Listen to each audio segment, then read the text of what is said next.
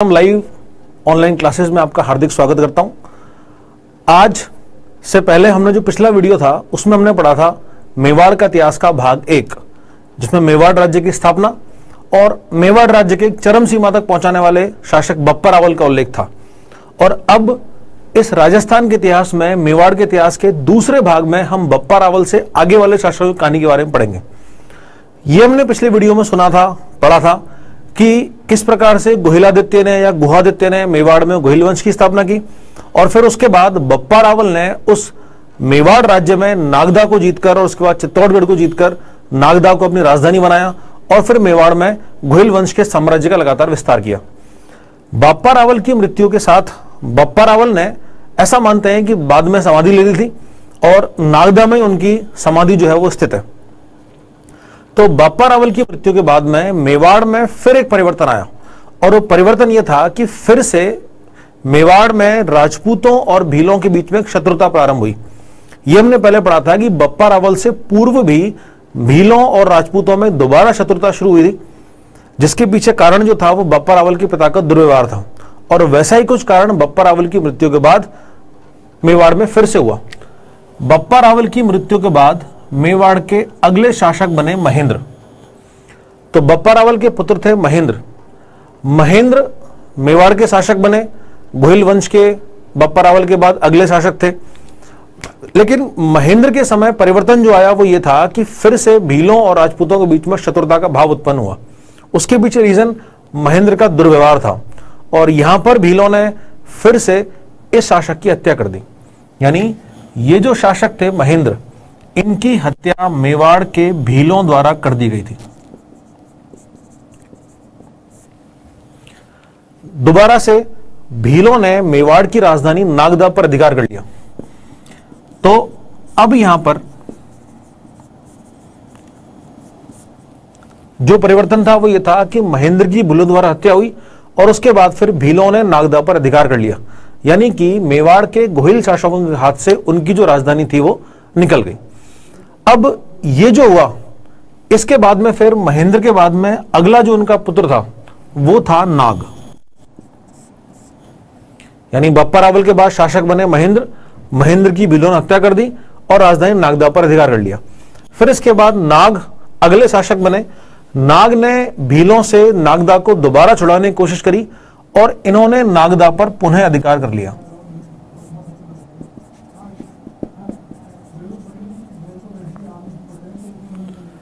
तो गोहिल वंश का नागदा पर पुनः अधिकार हुआ और नागदा जो है वो गोहिल वंश की पुनः राजधानी बनी। नाग के बाद से फिर से मेवाड़ के इस इतिहास में एक अंधकार का युग शुरू होता। है अंधकार के युग से अर्थ यह है कि इस समय मेवाड़ में कोई ऐसा बड़ा शासक नहीं था, जो कि लगातार साम्राज्य का विस्तार कर पाता, या फिर मेवाड़ को संगठित कर पाता, या फिर मेवाड़ में जो संघर्ष की स्थिति थी उन सबको शांत कर पाता। इनके बाद में अगला जो शासक बना, वो थे शिलादित्य।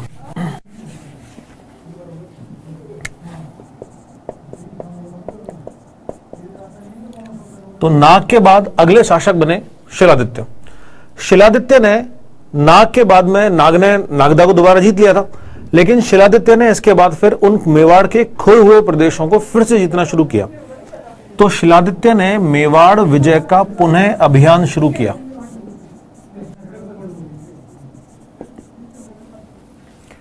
तो शिलादित्य ने नागदा को तो जीत लिया था, नाग ने नागदा को जीत लिया था, इसके बाद शिलादित्य ने मेवाड़ के अन्य भागों को जीता। शिलादित्य ने मेवाड़ विजय के बाद में, मेवाड़ में सबसे पहले तांबे के सिक्के प्रारंभ किए।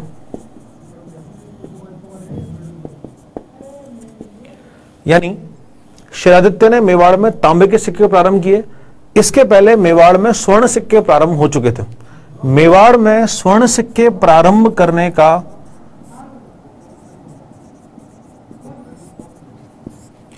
ये कार्य किया था बापा रावल ने। यानी मेवाड़ में सबसे पहले स्वर्ण सिक्के प्रारंभ किए थे किसने? बापा रावल ने। और मेवाड़ में सबसे पहले तांबे के सिक्के प्रारंभ किए थे शिलादित्य ने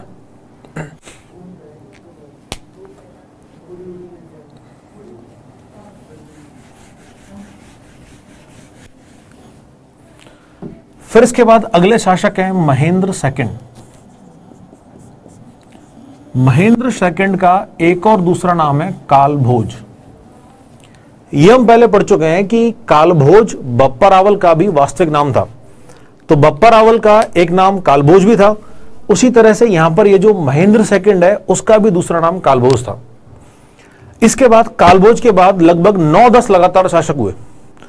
तो मेवाड़ का इतिहास लगातार आगे बढ़ रहा था, लेकिन कोई बहुत प्रमुख शासक नहीं थे। यानी मेवाड़ का साम्राज्य बहुत बड़ा नहीं था। मेवाड़ के साथ में कोई बहुत ज़्यादा संघर्ष भी किसी के नहीं हुए। तो इसी कड़ी में आगे शासक बने अल्लट।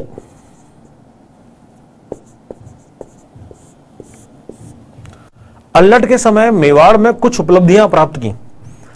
अल्लट का दूसरा एक नाम और मिलता है, वो है आलू रावल। यानी एक तो इनका नाम अल्लट है दूसरा नाम इस शासक का है आलू रावल। तो अल्लट या आलू रावल का शासन मेवाड़ में प्रारंभ हुआ। इसमें ऐसा माना जाता है कि अल्लट ने एक हूण राजकुमारी हरिया देवी के साथ विवाह किया था।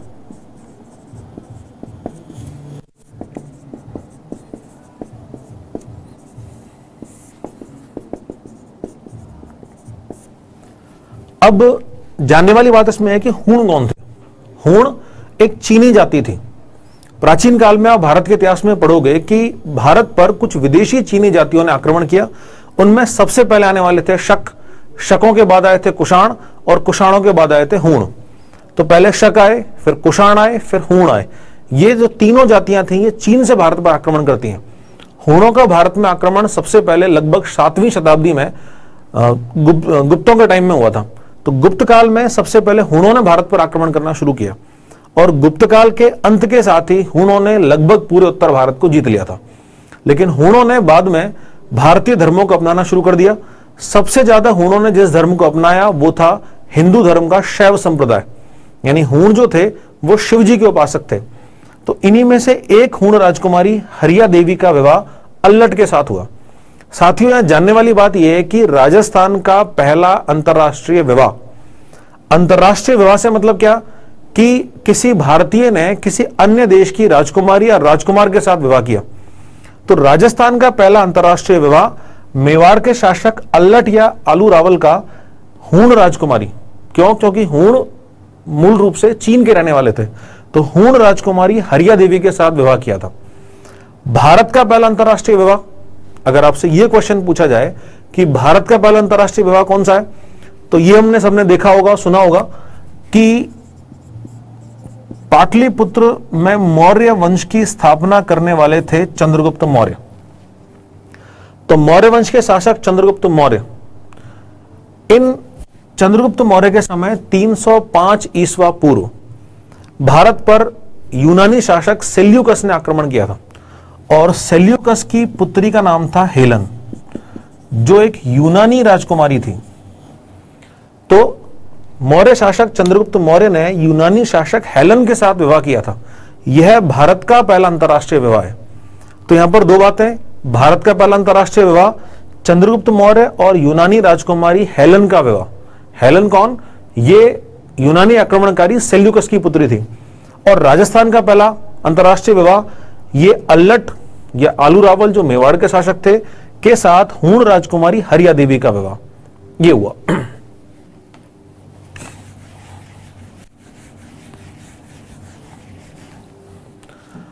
अल्लट के समय की एक दूसरी बड़ी घटना है कि अब तक राजधानी थी नागदा लेकिन अब यहाँ से नई राजधानी बनी आहड़। यानी मेवाड़ की पहली राजधानी थी नागदा। नागदा राजधानी किसने बनाई थी? बप्पा रावल ने। और मेवाड़ की दूसरी राजधानी बनी आहड़। आहड़ राज, राजधानी के संस्थापक कौन थे? अल्लट या आलू रावल। फिर इसके बाद अगली उपलब्धि ये कि अल्लट ने मेवाड़ में पहली बार नौकरशाही का विकास किया। अब साथियों, यहाँ पर एक क्वेश्चन है कि नौकरशाही क्या होती है? इंग्लिश में स्कूल तो ब्यूरोक्रेसी ब्यूरोक्रेसी का अर्थ है कि ऐसे कोई समूह, ऐसा कोई ग्रुप जिसका कि कार्य यह हो कि वो शासन या शासकों द्वारा तय की जाने वाली नीतियों को लागू करे। जैसे आप आई एस आर एस जानते हो, आप पटवारी की तैयारी कर रहे हो, आप पुलिस की तैयारी कर रहे हो, या आप किसी भी एग्ज़ाम की तैयारी कर रहे हो, ये सारे के सारे जो आप तैयारी कर रहे हो, वो सब नौकरशाही है। तो नौकरशाही का अर्थ होता है कि ऐसा कोई समूह या वर्ग है जो कि सभी शासकों या नीति निर्माताओं की नीतियों को लागू करने का कार्य करता है। तो इस ग्रुप का कार्य केवल यही है, और इसके बदले में उसको सरकार से नियमित वेतन मिलता है।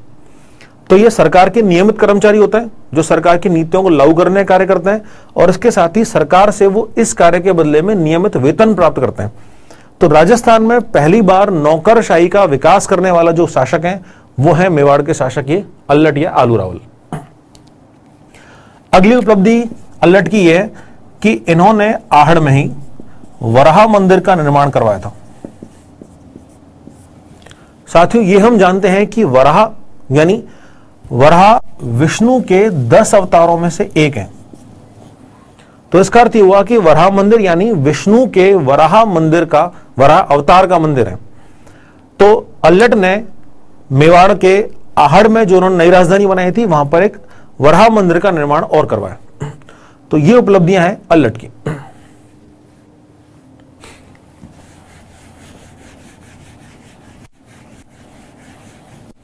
अल्लट के बाद में अगले महत्वपूर्ण शासक हैं शक्ति कुमार।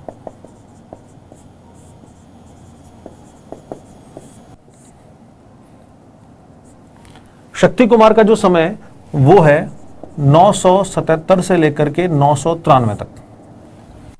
अब शक्ति कुमार की उपलब्धियाँ तो बहुत ज़्यादा नहीं है, लेकिन शक्ति कुमार का समय थोड़ा सा महत्वपूर्ण इसलिए होता है, क्योंकि पहली बार ऐसा हुआ जब मेवाड़ की राजधानी और मेवाड़ का प्रमुख दुर्ग, चित्तौड़गढ़, मेवाड़ के शासकों के हाथ से निकल गया। और इस बार मेवाड़ को जीतने वाले भील नहीं थे। इस बार मेवाड़ को जीतने वाला था पड़ोसी राज्य मालवा। मालवा ये वर्तमान में मध्य प्रदेश का भाग है। तो मालवा या मध्य प्रदेश में उस समय जो वंश शासन करता था, उसका नाम था परमार वंश। परमार वंश का उस समय शासक था वाकपति मुंज।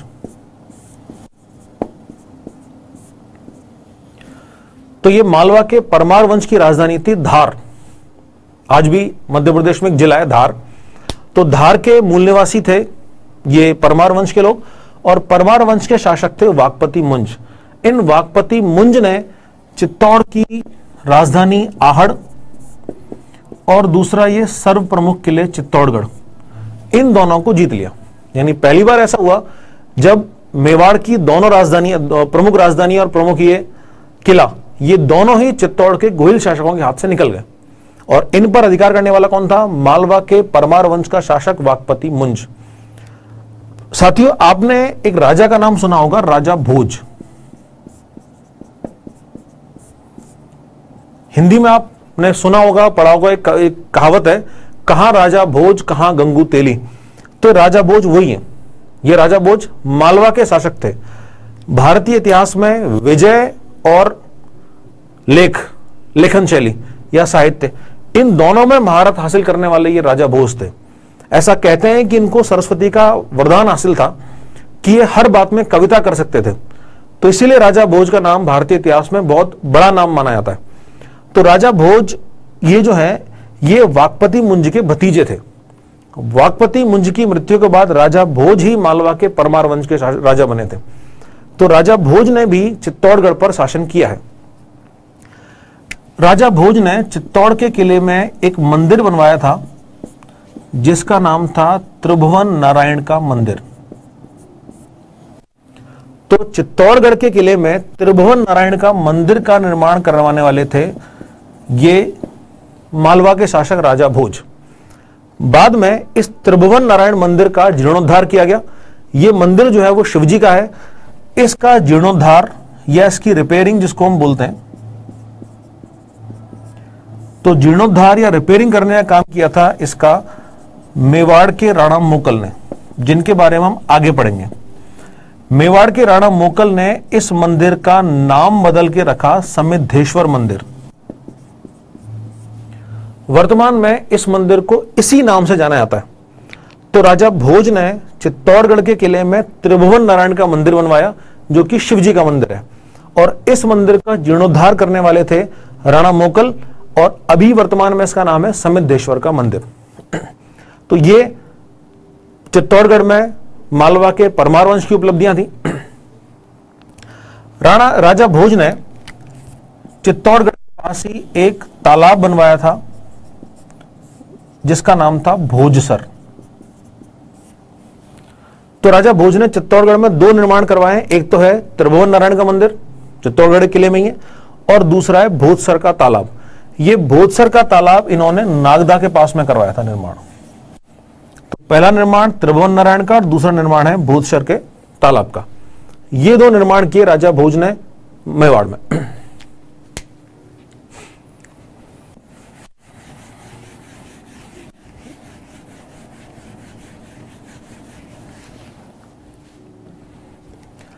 इसके बाद मेवाड़ के शासकों ने पुनः धीरे धीरे करके जैसे ही मालवा में परमार वंश की शक्ति का ह्रास होने लगा, वो लगातार गिरने लगा, मेवाड़ के शासकों ने पुनः मेवाड़ को जीतना शुरू कर दिया। इसी कड़ी में आगे एक शासक का नाम आता है विक्रम सिंह। विक्रम सिंह ने मेवाड़ को दोबारा जीता। आहड़, नागदा और चित्तौड़गढ़, इन सभी भागों को दोबारा जीत लिया। और मेवाड़ में फिर से गोयलों का शासन शुरू हुआ। विक्रम सिंह के बाद अगले शासक बने रण सिंह। रण सिंह का जो शासनकाल है, वो लगभग ग्यारह में शुरू होता। है रण सिंह से बाद में राणा वंश की उदय हुई। तो रण सिंह का जो शासनकाल है, उसमें कोई बहुत बड़ी उपलब्धि तो नहीं है, लेकिन उस उपलब्धि की जगह पर एक महत्वपूर्ण घटना घटती है। वो ये कि रण सिंह के दो पुत्र थे। सबसे पहले जो पुत्र थे, बड़े, उनका नाम था क्षेम सिंह। और दूसरे पुत्र हैं, छोटे, इनका नाम था राहब।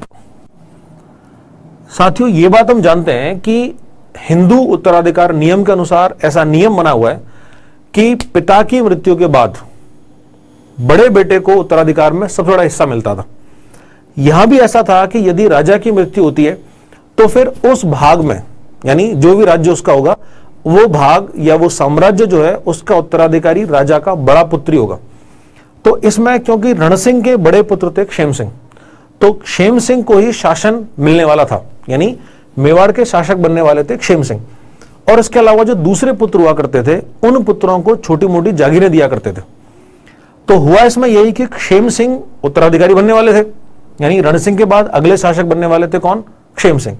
और राहब को कोई ना कोई जागीर मिलने वाली थी। तो राहब को जो जागीर मिली, वो थी सोदा गाँव की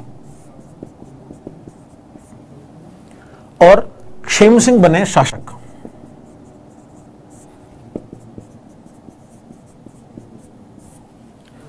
तो क्षेम सिंह के बाद में जो भी शासक बने, क्षेम सिंह और उनके बाद में जो शासक बने, उन्होंने अपने नाम के साथ में रावल लगाना शुरू किया।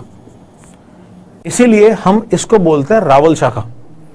और राहब के जो उत्तराधिकारी थे, इन्होंने राहब के पिता का नाम है यहाँ पर रण सिंह। तो राहब के जो उत्तराधिकारी थे, उन्होंने अपने नाम के साथ लगाना शुरू किया राणा। अब यहाँ पर यह एक फैक्ट आपके सामने आया कि मेवाड़ में दो, इस गोहिल वंश की दो शाखाएँ थी। पहली शाखा थी रावल शाखा और दूसरी शाखा थी राणा शाखा। तो पहली ये जो शाखा है गोहिल वंश की, वो तो है रावल शाखा और दूसरी शाखा है गोहिल वंश की, वो है राणा शाखा। तो गोहिल वंश के खेम सिंह और उसके बाद जो भी शासक बने, उन्होंने नाम के से पहले जो उपाधि धारण की, वो थी रावल। और दूसरी तरफ़ राहब और उनके जो उत्तराधिकारी थे उन्होंने अपने नाम के साथ जो उपाधि धारण की, वो थी राणा। तो चित्तौड़गढ़ में ये दो शाखाएँ बनी रावल शाखा और राणा शाखा। रावल शाखा की शुरुआत क्षेम सिंह से हुई और रावल शाखा के अंतिम शासक थे रतन सिंह। दूसरी तरफ़ राणा शाखा की शुरुआत करने वाले थे हमीर ससोदिया। और हमीर ससोदिया से लेकर के 1956 तक चित्तौड़ या मेवाड़ का शासन पूरी तरह से राणा शाखा के अधिकार में ही रहा। तो रावल शाखा क्षेम सिंह से लेकर रतन सिंह तक चलेगी और राणा शाखा जो है, वो हमीर से लेकर के उन्नीस सौ छप्पन तक चलेगी। यानी भारत की आज़ादी और उसके बाद फिर एकीकरण तक।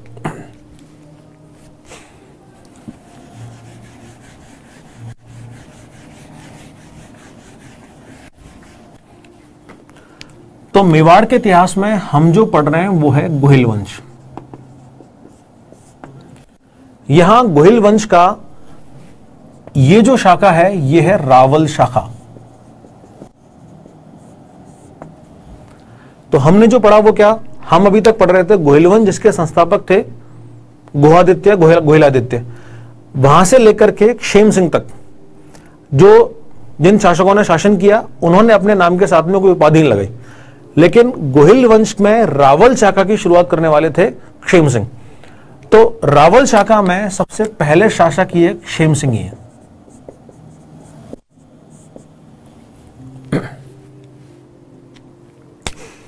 क्षेम सिंह के बाद में अगले शासक बने सामंत सिंह। तो रावल शाखा में सबसे पहले शासक हैं क्षेम सिंह और उसके बाद फिर दूसरे शासक हैं सामंत सिंह। सामंत सिंह के समय ग्यारह में। यहाँ पर चित्तौड़गढ़ पर एक आक्रमण हुआ, वो था नाडौल के चौहान शासकों का। नाडौल पाली में स्थित है और नाडौल में उस समय चौहान वंश का शासक था।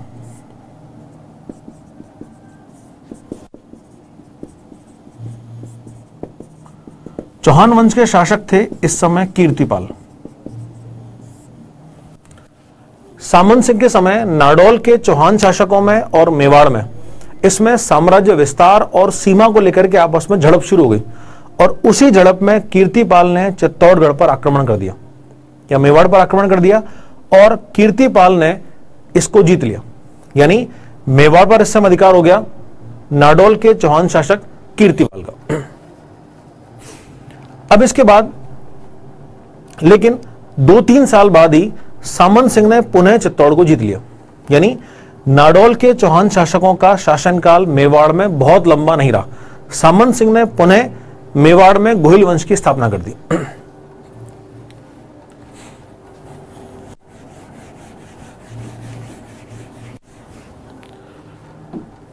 इसके बाद फिर रावल शाखा में तीसरे शासक हैं कुमार सिंह।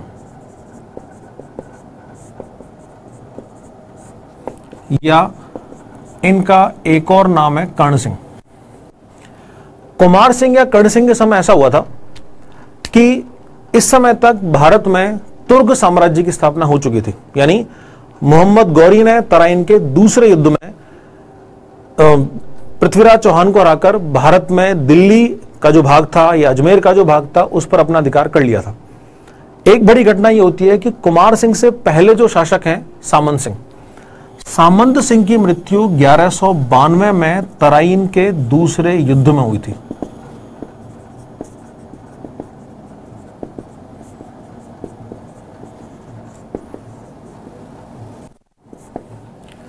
तो चित्तौड़गढ़ के किस शासक ने तराइन के दूसरे युद्ध में भाग लिया? वो थे सामंत सिंह। और उस तराइन के दूसरे युद्ध में सामंत सिंह की वीर गति प्राप्त हुई। वो लड़ते हुए शहीद हुए। और सामन सिंह की मृत्यु के बाद में फिर उनका बेटा कुमार सिंह या कर्ण सिंह शासक बना। अब सामन सिंह ने उस युद्ध में भाग इसलिए लिया था क्योंकि सामंत सिंह की एक पत्नी पृथ्वीबाई जो थी, वो अजमेर के चौहानों की राजकुमारी थी। तो रिश्तेदारी की वजह से सामंत सिंह ने तराइन की दूसरे युद्ध में पृथ्वीराज चौहान का सहयोग किया था, लेकिन वो उस युद्ध में लड़ते हुए मारे गए। उसके बाद फिर अगला शासक बना कुमार सिंह।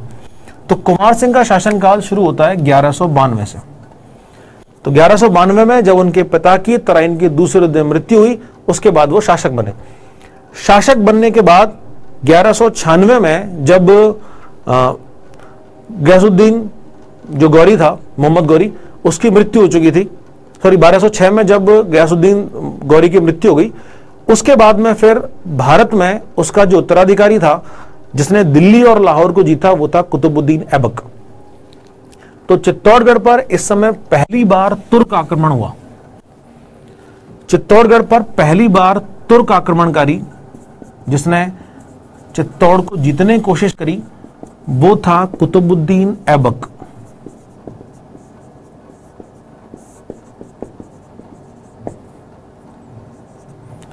कुतुबुद्दीन ऐबक के बारे में आपने सुना होगा।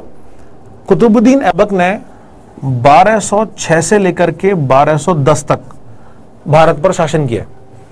और कुतुबुद्दीन ऐबक जो था, वो गुलाम वंश का संस्थापक था। तो यानी कुमार सिंह के समय भारत में जो बड़ा राजनीतिक महत्वपूर्ण परिवर्तन आया, वो ये था कि भारत में इस समय तुर्क साम्राज्य की शुरुआत हो चुकी थी। और तुर्क साम्राज्य का संस्थापक था कुतुबुद्दीन ऐबक। कुतुबुद्दीन ऐबक ने एक बड़ी सेना के साथ में मेवाड़ पर आक्रमण करने के लिए चढ़ाई करी। लेकिन कुमार सिंह उस समय शायद तो बीमार था या किसी वजह से वो युद्ध में नहीं जा पाया। इस समय इस आक्रमण के रोकने की ज़िम्मेदारी कुमार सिंह की माँ के पास आई। यानी इस आक्रमण में मेवाड़ की सेनापति कुमार सिंह की माँ थी, जिसका नाम था कर्म देवी तो कुतुबुद्दीन ऐबक के आक्रमण को रोकने के लिए कौन गया? कुमार सिंह की माँ कर्म देवी और यहाँ पर एक भयंकर युद्ध हुआ, जो आमेर के पास हुआ था। इसीलिए इस युद्ध को बोलते हैं आमेर का युद्ध। यह आमेर का युद्ध मेवाड़ की सेना और यह तुर्क आक्रमणकारी ऐबक के मध्य हुआ था, जिसमें मेवाड़ की ओर से सेनापति थी शासक कुमार सिंह या कर्ण सिंह की माँ कर्म देवी और यह हमारे लिए एक और गौरव की बात कि कर्म देवी ने ऐबक की इस सेना को भयंकर तरीके से हराया। तो कर्म देवी जो आमेर के युद्ध में मेवाड़ की सेना की सेनापति थी, उन्होंने इस युद्ध में कुतुबुद्दीन ऐबक को हरा दिया। इसके बाद फिर कभी भी कुतुबुद्दीन ऐबक ने चित्तौड़ पर या मेवाड़ पर आक्रमण करने के प्रयास नहीं किए।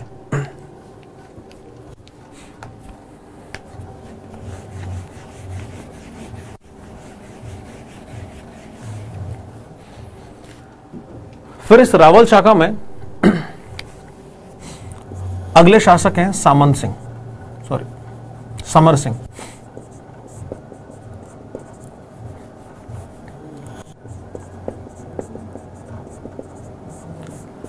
तो रावल शाखा के अगले शासक बने फिर जैत्र सिंह।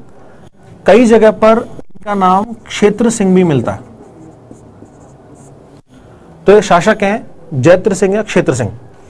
जैत्र सिंह का जो शासनकाल है, वो है 1213 से लेके 50 तक। तो इस समय भारत में परिवर्तन ही आ चुका है कि दिल्ली में तुर्क शासन की स्थापना हो चुकी है और तुर्क शासन की शुरुआत में सबसे पहला जो वंश था दिल्ली में, वो था गुलाम वंश। गुलाम वंश का संस्थापक था कुतुबुद्दीन ऐबक। कुतुबुद्दीन ऐबक लाहौर में घोड़े से गिरकर मर गया था। कुतुबुद्दीन ऐबक के बाद उसका जो उत्तराधिकारी था, उसका नाम था इलतुतमिश। इलतुतमिश एक बड़ा साम्राज्यवादी शासक था, जो कि अपना बहुत बड़ा साम्राज्य स्थापित करना चाहता था।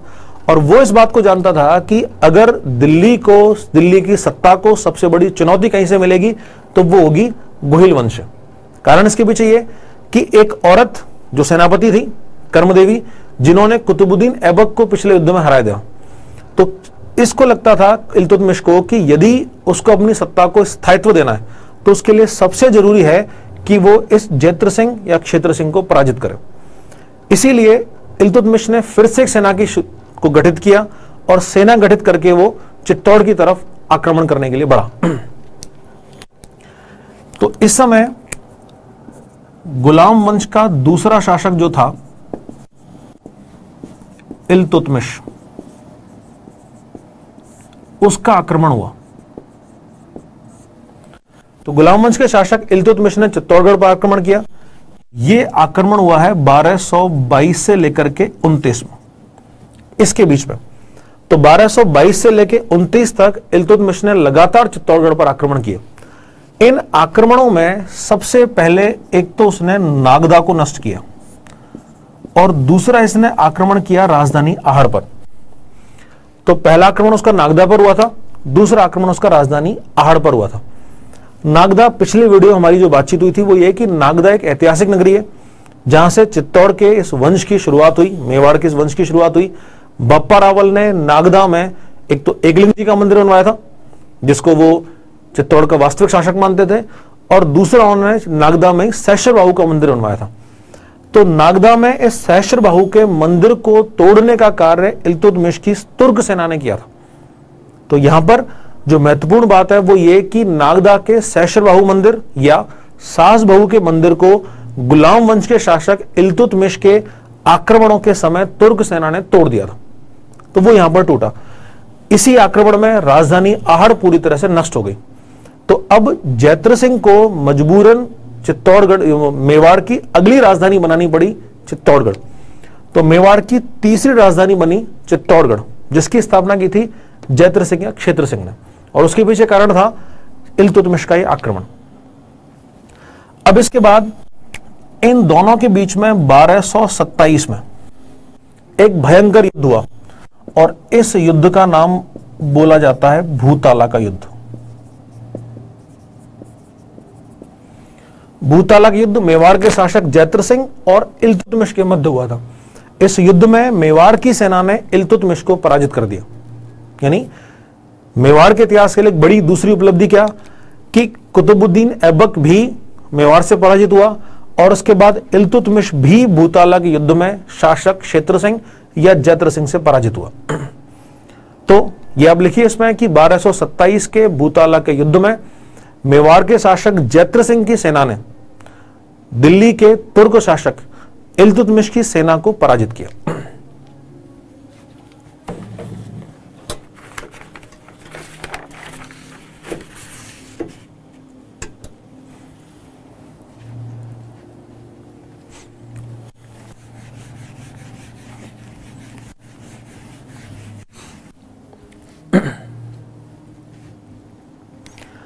फिर इसके बाद जैत्र सिंह के समय अगला एक और आक्रमण हुआ और वो आक्रमण करने वाला था एक और गुलाम वंश का शासक नासिरुद्दीन मोहम्मद।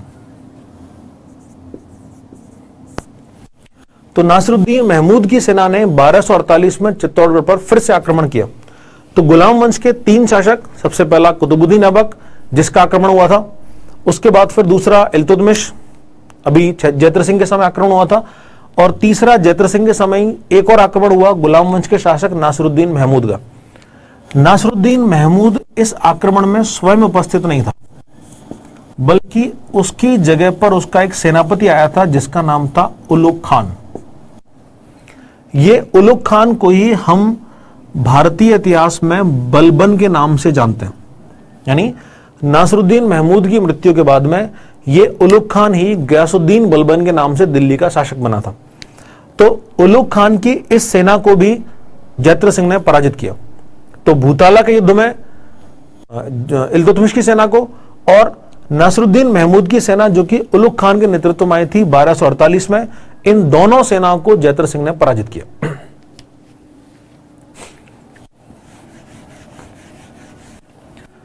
अब यहाँ पर एक बड़ी उपलब्धि यह है कि दिल्ली के जो लगातार प्रतिरोध चित्तौड़ के सामने प्रस्तुत हो रहे थे, उनको जैत्र सिंह ने रोका। यही कारण था कि राजस्थान के प्रमुख इतिहासकार हैं, डॉक्टर गौरी शंकर हीरानंद ओझा।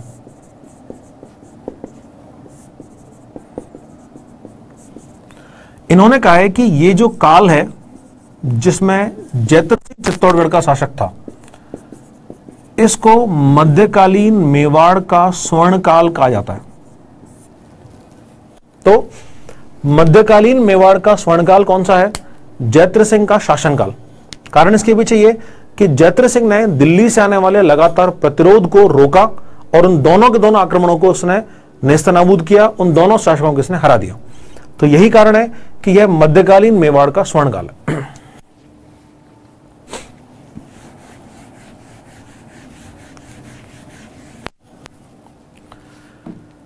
जैत्र सिंह के बाद में अगले शासक बने हैं फिर तेज सिंह। तो यहाँ पर इन शासकों के साथ में रावल की उपाधि आएगी। तो ये है रावल, तेज सिंह। तो जैत्र सिंह के बाद अगले शासक बने हैं रावल, तेज सिंह। रावल, तेज सिंह का समय था 1250 से लेकर तिहत्तर तक का। इस काल में कोई बहुत बड़ी उपलब्धियाँ नहीं है, लेकिन एक बड़ी उपलब्धि यह है कि वो जो था गयासुद्दीन बलबन जो कि दिल्ली के गुलाम वंश का शासक था। उसने रावल तेज सिंह के समय चित्तौड़गढ़ पर आक्रमण किया, लेकिन तेज सिंह ने इसको पराजित कर दिया। यह आक्रमण बारह में हुआ था।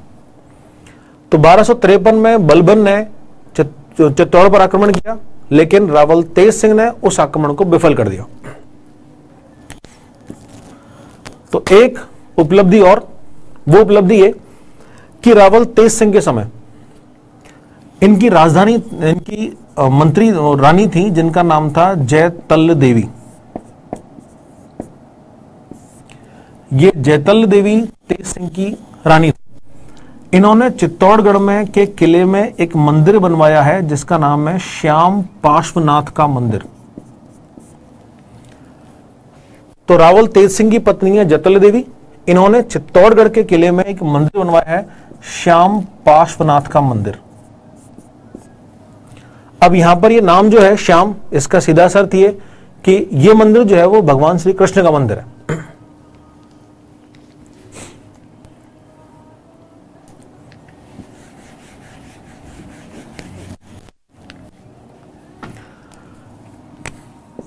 भारत में सॉरी राजस्थान का प्रथम चित्रित ग्रंथ। यानी राजस्थान का पहला ऐसा ग्रंथ जो कि चित्रों के माध्यम से उसमें कहानियों को समझाया गया था। उस प्रथम चित्रित ग्रंथ का नाम है श्रावक। प्रतिक्रमण सूत्र चूर्णी। यह राजस्थान का पहला चित्रित ग्रंथ है। श्रावक, प्रतिक्रमण, सूत्र चूर्णी। ये जो ग्रंथ है, इसको चित्रित किया गया था वर्ष बारह में। तो बारह में रावल तेज सिंह के समय राजस्थान के पहले ग्रंथ, जिसका नाम था श्रावक प्रतिक्रमण सूत्र चूर्णी। इस ग्रंथ को चित्तौड़ की प्राचीन, मेवाड़ की प्राचीन राजधानी आहड़ में चित्रित किया गया था। तो इस चित्र की रचना हुई। तो राजस्थान का प्रथम चित्रित ग्रंथ, श्रावक प्रतिक्रमण सूत्र चूर्णी वर्ष बारह में चित्तौड़ की या मेवाड़ की प्राचीन राजधानी आहड़ में रावल तेज सिंह के समय चित्रित किया गया था।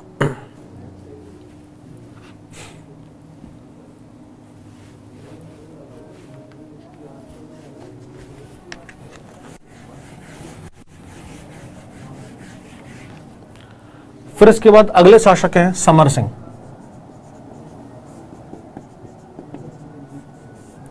समर सिंह का शासनकाल है बारह से लेकर 1301 तक। समर सिंह के शासनकाल के समय ऐसा मानते हैं कि इनका गुजरात में कुछ ज़्यादा आना जाना था और गुजरात में इस समय जैन धर्म बहुत तेज़ी से फैल रहा था। तो जैन धर्म के प्रभाव में आकर के समर सिंह ने अपने पूरे के पूरे साम्राज्य में, यानी मेवाड़ में जीव हिंसा को प्रतिबंधित कर दिया था।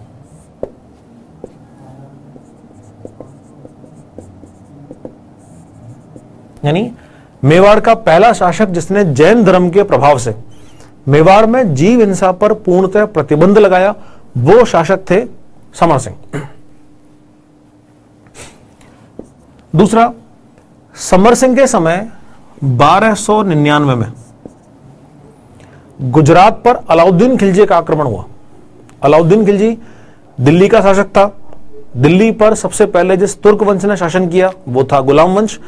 गुलाम वंश के समाप्ति के बाद दिल्ली पर अगला शासक जो जो शासन करता है या अधिकार करता है, वो था जलालुद्दीन खिलजी। जलालुद्दीन खिलजी के वंश का नाम था खिलजी वंश। तो पहला गुलाम वंश, दूसरा था दिल्ली पर खिलजी वंश। खिलजी वंश का संस्थापक था जलालुद्दीन खिलजी। जलालुद्दीन खिलजी की मृत्यु के बाद अगला शासक बना था अलाउद्दीन खिलजी। अलाउद्दीन खिलजी की सेना 1299 में दिल्ली से चलती है गुजरात पर आक्रमण करने के लिए। तो यह सेना जब दिल्ली से चली तो वो चित्तौड़ से होकर गुजरी। तो जब चित्तौड़ से सेना गुजर रही थी तो समर सिंह ने उस सेना को वहाँ पर रोक लिया और उसने बोला कि या तो आप मुझे टैक्स दो या कर दो, और अगर टैक्स नहीं दे सकते तो फिर आपको मेरी सेना से युद्ध करना पड़ेगा। अब अलाउद्दीन खिलजी की सेना फ़िलहाल समर सिंह से उलझने के मूड में नहीं थी। तो यही कारण था कि अलाउद्दीन खिलजी की सेना ने समर सिंह को टैक्स या कर देना ज़्यादा उचित समझा। तो 1299 में अलाउद्दीन खिलजी की सेना को।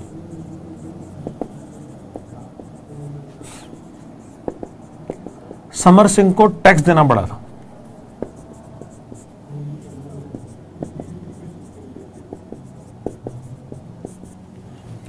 तो बारह में जब अलाउद्दीन खिलजी की सेना गुजरात पर आक्रमण कर रही थी तो अलाउद्दीन खिलजी की सेना से समर सिंह ने कर या टैक्स वसूल किया।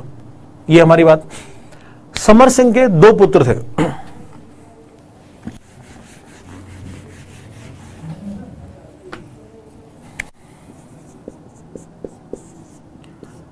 पहले जो बड़े पुत्र हैं, उनका नाम था रतन सिंह।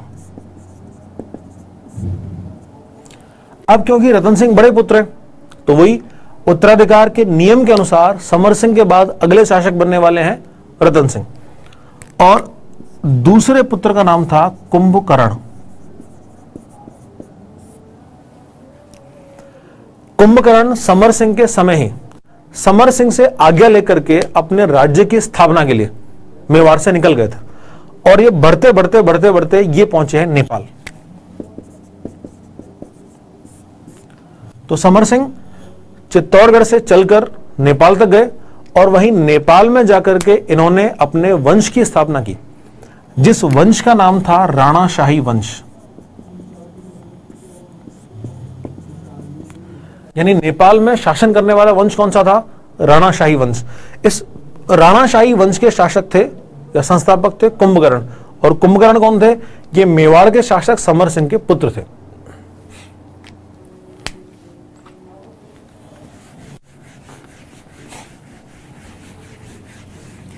इसके बाद फिर इस रावल शाखा में अंतिम शासक हैं रावल रतन सिंह।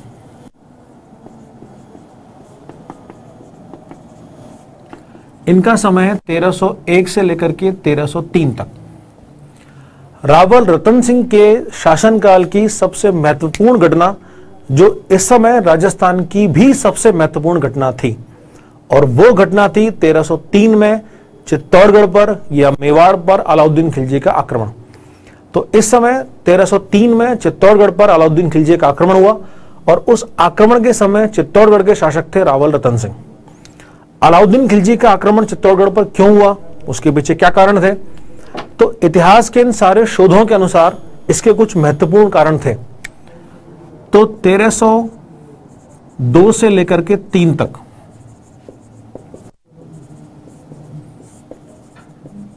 अलाउद्दीन खिलजी का आक्रमण हुआ। अगर हम इन आक्रमणों के कारणों की चर्चा करें तो इन कारणों में सबसे पहला कारण जो था, वो था चित्तौड़गढ़ की भौगोलिक स्थिति। चित्तौड़गढ़ की भौगोलिक स्थिति यह थी कि क्योंकि 1299 में अलाउद्दीन खिलजी गुजरात को जीत चुका था और गुजरात तक पहुँचने के दो रास्ते थे। पहला रास्ता जो है, वो दिल्ली से मालवा होते हुए जाता है, यानी एमपी होते हुए जाता है। वो रास्ता थोड़ा सा लंबा है। और दूसरा रास्ता है वो दिल्ली से सीधा मेवाड़ होते हुए गुजरात तक पहुँचता था, जो छोटा रास्ता था। तो यही कारण था कि 1299 में जब गुजरात की ओर अलाउद्दीन खिलजी की सेना चल रही थी तो उसको मेवाड़ को टैक्स देने के लिए मजबूर होना पड़ा था। तो यहाँ भौगोलिक स्थिति एक बहुत बड़ा कारण थी, यानी अगर अलाउद्दीन खिलजी गुजरात पर उस अपने अधिकार को स्थायी रखना चाहता है तो उसको चित्तौड़ को भी जीतना पड़ेगा। तो भौगोलिक स्थिति में जो कारण था वो था गुजरात का रास्ता। क्योंकि दिल्ली और गुजरात के बीच में चित्तौड़गढ़ की भौगोलिक स्थिति।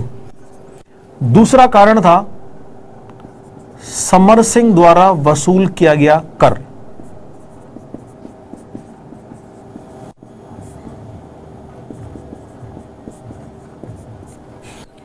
यहाँ ऐसा माना जाता है क्योंकि समर सिंह ने 1299 में अलाउद्दीन खिलजी से अपने क्षेत्र से निकलने के बदले में कर लिया था। अब जो कर लिया गया, स्वाभाविक था, वो गलत नहीं था। लेकिन अलाउद्दीन खिलजी इसको अपना अपमान मानता था। और उसको लगता था कि समर सिंह ने क्योंकि मेरे से कर वसूल किया है तो मैं इसका बदला एक समय ज़रूर चुकाऊँगा। तो ये भी एक इसमें कारण हो सकता है। तीसरा बड़ा कारण जो है, वो ये गुजराती है। क्योंकि गुजरात तक सीधा पहुँचना है। और गुजरात में क्योंकि एक तो कपास का उत्पादन होता था। यानी गुजरात इस समय भारत में कपास उत्पादन का सबसे बड़ा केंद्र था। और कपास उत्पादन के साथ में ही वो सूती वस्त्र निर्माण का भी केंद्र था। और कपास और सूती के अलावा गुजरात, भारत का एक सबसे बड़ा व्यापार केंद्र भी था। यानी यदि उसको गुजरात तक अपना अधिकार जो है वो हमेशा के लिए रखना है तो उसको चित्तौड़ पर अधिकार रखना मजबूरी है। ये एक बात। अब इन तीनों कारणों के अलावा एक चौथा जो विशेष कारण माना जाता है, वो विशेष कारण है पद्मिनी। ये पद्मिनी जो है, वो रावल रतन सिंह की पत्नी थी। ये बहुत सुंदर थी। इतिहास में ऐसा वर्णन मिलता है कि ये अगर पानी भी पीती थी तो वो गले के अंदर दिखता था। अगर गलती से कोई उनके नाखून भी लगाते तो खून निकल आता था। ऐसा कुछ सुना है। तो चित्तौड़गढ़ की जो रानी थी, पद्मिनी, ये अलाउद्दीन खिलजी उनको प्राप्त करना चाहता था, उसकी लालसा रखता था। तो इसीलिए पद्मिनी को प्राप्त करने के लिए अलाउद्दीन खिलजी ने चित्तौड़ पर आक्रमण किया। तो चार विशेष कारण हैं जिनकी वजह से अलाउद्दीन खिलजी का आक्रमण हुआ।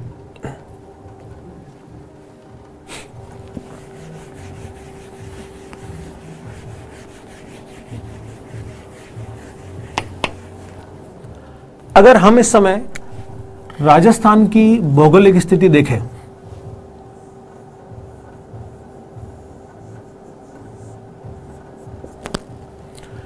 तो राजस्थान का भाग यहाँ ये राजस्थान का पड़ोसी रियासत है गुजरात। और ये दूसरी पड़ोसी रियासत है मालवा। और यहाँ पर है दिल्ली। तो यानी हम जो पढ़ रहे हैं वो ये है कि दिल्ली और मेवाड़ का संघर्ष। दिल्ली और मेवाड़ के संघर्ष में महत्वपूर्ण रोल यहाँ पर ये गुजरात का था। अब दिल्ली से गुजरात का जो रास्ता है, यहाँ बीच में मेवाड़ है। तो क्या दिल्ली के शासक अलाउद्दीन खिलजी ने केवल मेवाड़ पर आक्रमण किया? ऐसा नहीं है। दिल्ली के शासक अलाउद्दीन खिलजी ने मेवाड़ के अलावा भी राजस्थान की अन्य रियासतों पर भी आक्रमण किया।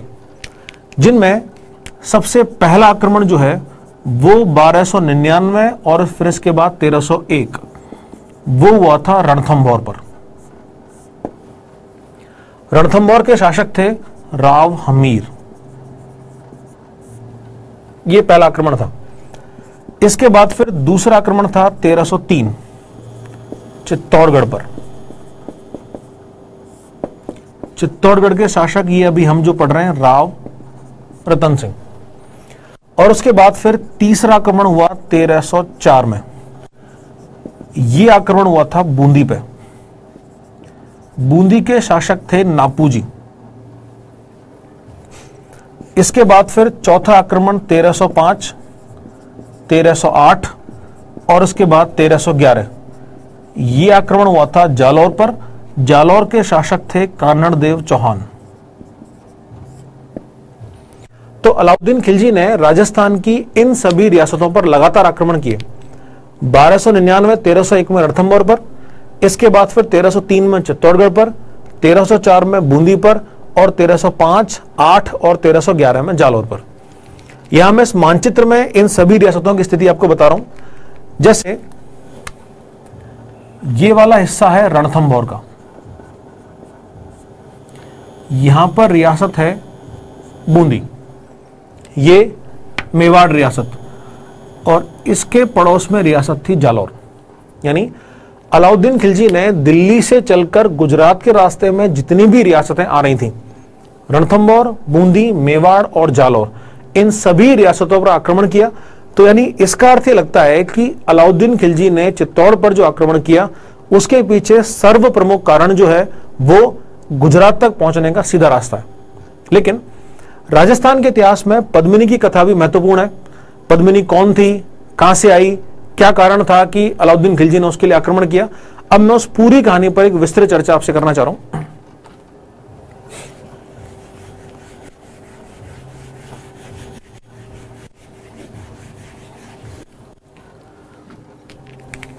यह कहानी है रानी पद्मिनी की। पद्मिनी का दूसरा नाम था पद्मावती। तो रानी पद्मिनी या पद्मावती? रानी पद्मिनी या पद्मावती के पति का नाम था राव रतन सिंह, जिनके बारे में अभी हम पढ़ रहे हैं। ये राव रतन सिंह चित्तौड़गढ़ के शासक थे और रानी पद्मिनी के पिता का नाम था गंधर्व सेन। ये गंधर्व सेन सिंगल द्वीप के राजा थे। ये बात शायद आप जानते होंगे सिंगल द्वीप श्रीलंका को ही बोला जाता है। यानी गंधर्व सेन जो रानी पद्मिनी के पिता थे, वो श्रीलंका सिंगल द्वीप या श्रीलंका के राजा थे। इनकी माता का नाम था चंपावती।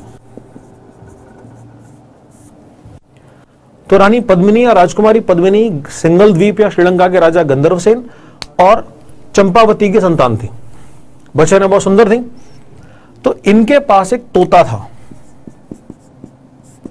उस तोते का नाम आता है हीरामन।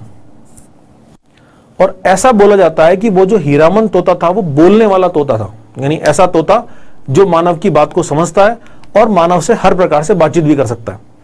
अब ये जो सारी कहानी जो पद्मिनी की हमें मिलती है, वो सारी कहानी एक पुस्तक में मिलती है, जिस पुस्तक का नाम है पद्मावत। ये पद्मावत नाम की जो पुस्तक है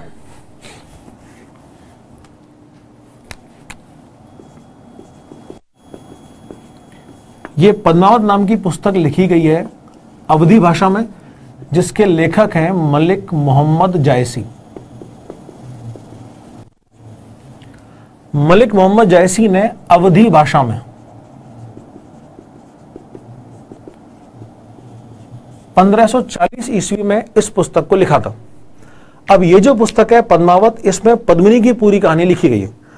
अब साथियों, यहाँ पर जो कंफ्यूजन है, वो ये है कि 1303 में जब अलाउद्दीन खिलजी का आक्रमण हुआ और 1540 में जब यह ग्रंथ लिखा गया तो 1303 में अलाउद्दीन खिलजी का आक्रमण और 1540 में पद्मावत की रचना।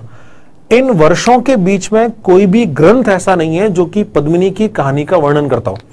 यानी किसी भी ग्रंथ में पद्मिनी की इस कहानी का वर्णन नहीं है। तो अब यह कहानी सच्ची है या नहीं, इस बात पर एक संदेह है। लेकिन हम संदेह करने की जगह पर यहाँ पर केवल ये जो पुस्तक में लिखा गया है, मैं उस पर चर्चा कर रहा हूँ। तो मलिक मोहन जयसी ने अपनी पुस्तक जो अवधि भाषा में लिखी थी 1540 में, पद्मावत, उसमें रानी पद्मिनी की इस पूरी कहानी का वर्णन किया है। उनके पति का नाम राव रतन सिंह था, पिता का नाम गंधर्व सेन था, जो श्रीलंका के राजा थे, माता का नाम चंपावती था, और एक तोता था, बोलने वाला जिसका नाम हीरामन था। अब यह सब कुछ बढ़िया जीवन इनका चल रहा था। तो वो जो हीरामन नाम का तोता था, वो किसी दिन उनके पिंजरे से निकल गया। और वो उड़ते उड़ते उड़ते उड़ते दक्षिण भारत को पार करते हुए गागरौन पहुँचा। गागरौन शायद आपने नाम सुना होगा। ये गागरौन झालावाड़ में किला है। राजस्थान का बड़ा जलदुर्ग माना जाता है, जो नदियों के संगम पर स्थित है। आगे पढ़ेंगे हम इसके बारे में। तो हीरामन तोता उड़ते उड़ते गागरौन तक पहुँच गया। गागरौन में इसको मिला एक व्याध। ये जो होता है व्याध, ये पक्षियों को मारने वाला एक व्यक्ति है, जिसका कार्य पक्षियों को मारना और फिर उनको बेचना है। तो ये व्याध के हाथ में तोता लग गया। तो व्याध ने सोचा कि मैं इस तोते को या तो मारूं और पकड़े खा जाऊँ, लेकिन इस तोते का जो गुण है वो अलग है और वो क्या है कि बोलने वाला तोता है। तो उसने सोचा कि मैं इस तोते को बेचूँगा, लेकिन अब उसको खरीदार चाहिए था। खरीदार तो राजे हो सकता है। तो वो गागरौन से घूमते घूमते चित्तौड़ तक पहुँच गया। और चित्तौड़ के शासक रतन सिंह को उसने वो तोता बेच दिया। तो हीरामन तोता जो है वो पहुँच गया चित्तौड़ के शासक राव रतन सिंह के पास। रतन सिंह के पास जब ये तोता पहुँचा तो इस तोते ने पद्मिनी की सुंदरता के बारे में रतन सिंह को बताया कि बहुत सुंदर लड़की है वो। तो रतन सिंह के मन में इच्छा हुई कि वो पद्मिनी से जाके शादी करें। रतन सिंह तभी साधु का वेश बनाकर वहाँ से निकल गए और वो पहुँचते हैं सिंगल द्वीप सिंगल द्वीप में कई सालों तक वो साधु का वेश बनाए घूमते रहे और अंततः वो गंधर्व सेन का जो बगीचा था, उसमें जाकर के डेरा डाल के बैठ गए। अब उनका जो शरीर का स्ट्रक्चर था, जो चेहरे पर चमक थी, जो तेज थी, जो आभा थी, उसको देखकर गंधर्व सेन को शक हुआ कि व्यक्ति ये जो है, ये साधु नहीं है। ये कुछ और चक्कर है। तो गंधर्व सेन ने उनको बुलाया, रतन सिंह को, और बुला करके सारी बात जानने की इच्छा प्रकट की। तो इन्होंने बोला कि मैं साधु नहीं हूँ, ये बात सच है। लेकिन मैं एक राजा हूँ चित्तौड़गढ़ का राजा हूँ, मेवाड़ का राजा हूँ, और मेरी जो इच्छा है, वो आपकी पुत्री पद्मिनी से शादी करने की है। यानी मैं यहाँ पर इतने दूर चलकर आपकी पुत्री पद्मिनी से विवाह करने की इच्छा से आया हूँ। अब गंधर्व सेनों को दिक्कत नहीं थी। बड़ा राज्य था, नाम था, गौरव भी था। तो यही सोच करके गंधर्व सेन ने पद्मिनी की शादी रतन सिंह के साथ में कर दी। इन दोनों का विवाह हो गया। तो रतन सिंह और पद्मिनी दोनों की शादी हो गई। शादी के बाद में पद्मिनी चित्तौड़गढ़ आ गई। चित्तौड़गढ़ में राव रतन सिंह के पास में एक तांत्रिक था, जिस तांत्रिक का नाम आता है राघव चेतन। राघव चेतन नामक तांत्रिक की किसी बात को लेकर रतन सिंह के साथ में को झगड़ा हो गया। अब राघव चेतन चाहता था कि वो रतन सिंह का गुस्सा जो है, जो उसने झगड़े से निकाला है, वो पूरी प्रजा को भुगतना पड़े। तो राघव चेतन वहाँ से चलता है, चल के अलाउद्दीन खिलजी के पास पहुँचता है। अलाउद्दीन खिलजी उसके सामने बहुत बड़ी डींगे हारता है, शेखी मारता है कि मैंने सारी दुनिया को झुका दिया, सब मेरे से हार चुके हैं, इस समय मैं पूरी दुनिया का स्वामी हूँ। तो राघव चेतन उसको वहाँ भड़काता है कि तेरे पास कुछ भी नहीं है। दुनिया में सबसे सुंदर स्त्री है, पद्मिनी। वो तेरे पास नहीं है। उत्तर भारत का सबसे बड़ा साम्राज्य है, चित्तौड़, वो भी तेरे पास नहीं है। तो सबसे पहले वो, तू, ये जो दोनों चीज़ें हैं, यानी पद्मिनी और चित्तौड़गढ़, इन दोनों को हासिल कर। अलाउद्दीन खिलजी इस बात से भड़क गया और उसने 1302 में चित्तौड़गढ़ पर चढ़ाई कर दी। तो 1302 में अलाउद्दीन खिलजी अपनी सेना लेकर चित्तौड़ तक पहुँच गया। उसने चित्तौड़ के किले को चारों तरफ़ से घेर लिया। अब इनकी जो स्ट्रेटजी हुआ करती थी, वो ये कि जैसे ये चित्तौड़गढ़ का किला है। ये हम आगे पढ़ेंगे कि चित्तौड़गढ़ का किला एक पठार पर स्थित है, जिस पठार का नाम है मैसा का पठार। तो जैसे ही इस तरह का पठार है और इस पर चित्तौड़गढ़ का किला है। तो इनकी स्ट्रेटजी होगी कि पूरी सेना चारों तरफ़ से इस किले को घेर लेगी। यानी चारों तरफ़ से ये इस किले को घेर के बैठे होंगे। अब यहाँ क्या होगा, जब ये सेना इस किले को घेर के बैठी होगी तो क्योंकि किले के अंदर भोजन और पानी की व्यवस्थाएँ कम है, राशन पानी कम है, कभी ना कभी वो खत्म होना है। तो लगभग छह सात महीने तक अलाउद्दीन खिलजी की सेना चित्तौड़गढ़ के किले को घेर के बैठी रही। लेकिन फिर भी वो चित्तौड़ को नहीं जीत पाई। अब चित्तौड़गढ़ के प्रमुख व्यक्ति, शासन जो राज परिवार के लोग हैं, वो सारे यहाँ पे हैं। और दूसरी तरफ़ चित्तौड़ के जो बाकी सामंत हैं, वो लगातार इस सेना पर आक्रमण कर रहे हैं। और इन सेना पर आक्रमण करने की ज़िम्मेदारी जिसको दी गई थी, वो था लक्ष्मण सिंह।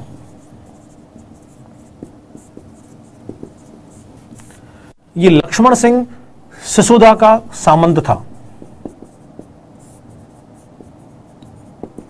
साथियों, अभी हमने पढ़ा कि सिसोदा गाँव के जो रहने वाले थे वो वास्तव में गुहिल वंश के थे।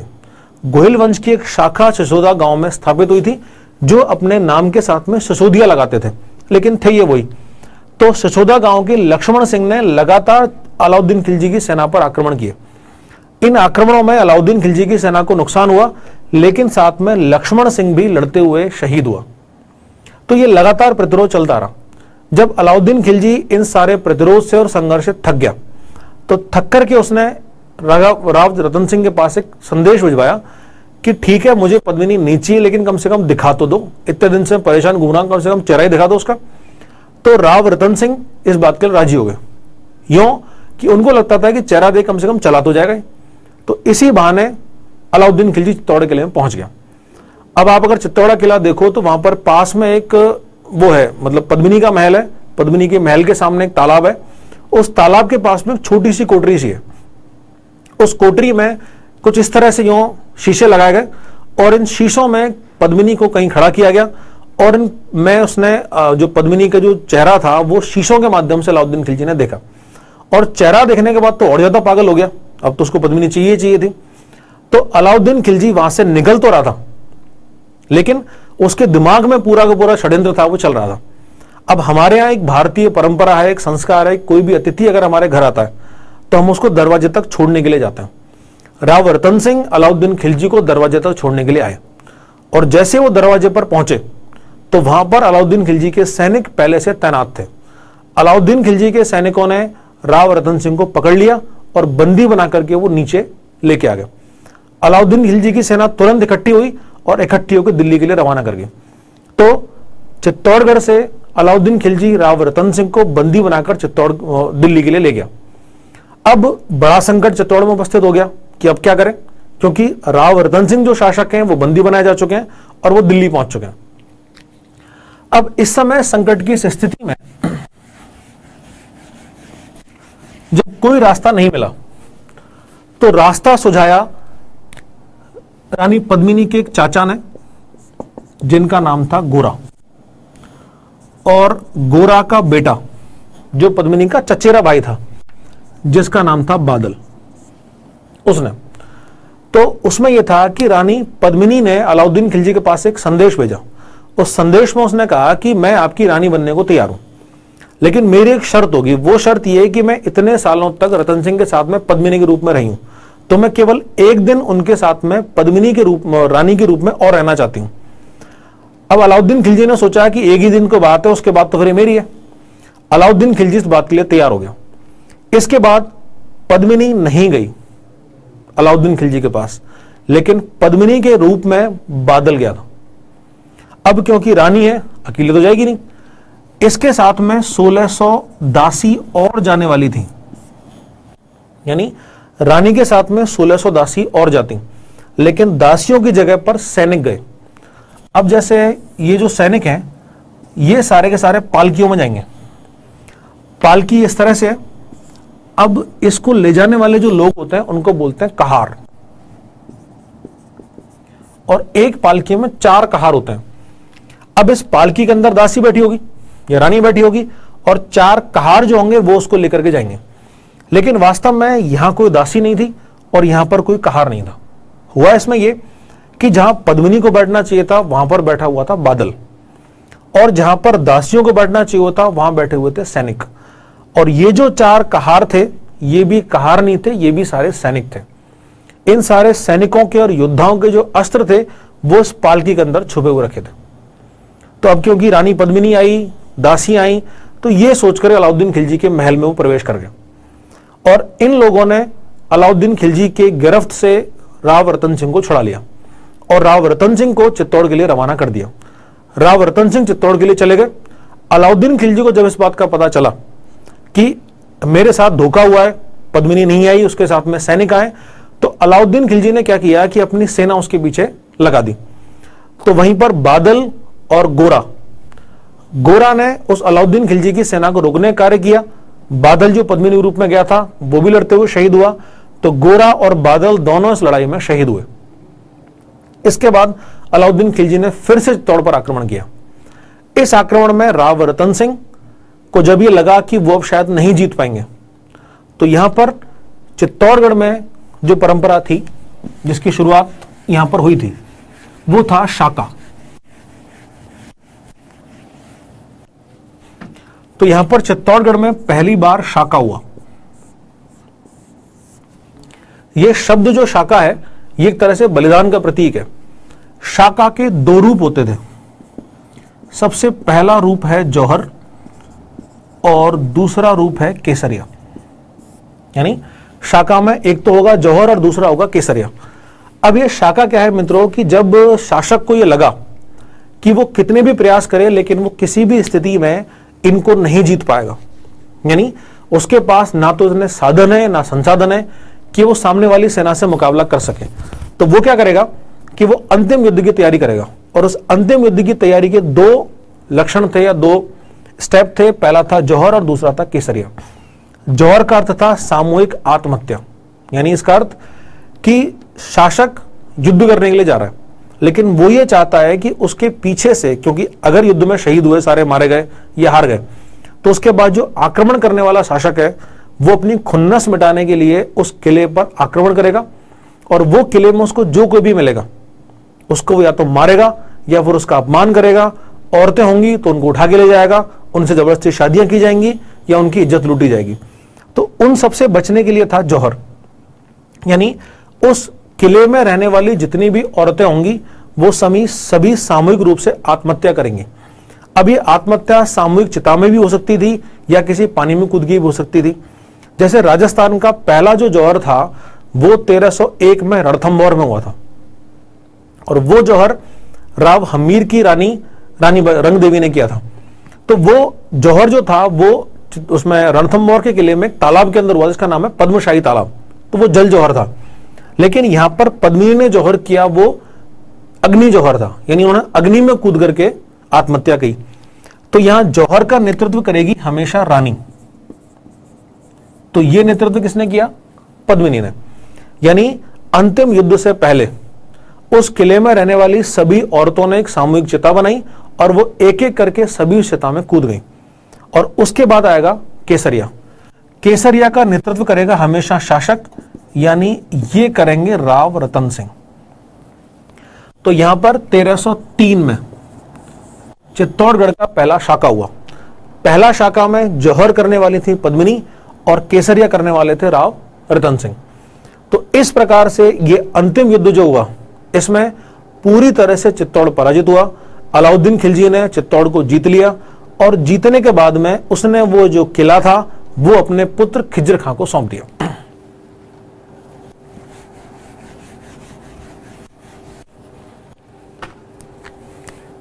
तो यहाँ पर 1303 में अलाउद्दीन खिलजी का चित्तौड़ पर अधिकार हुआ।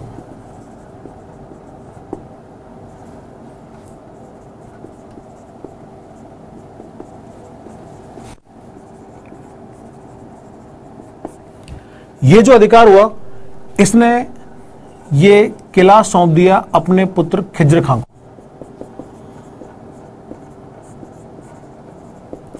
यानी चित्तौड़ किला, किलेदार बनाया गया अलाउद्दीन खिलजी के पुत्र खिजर खां को।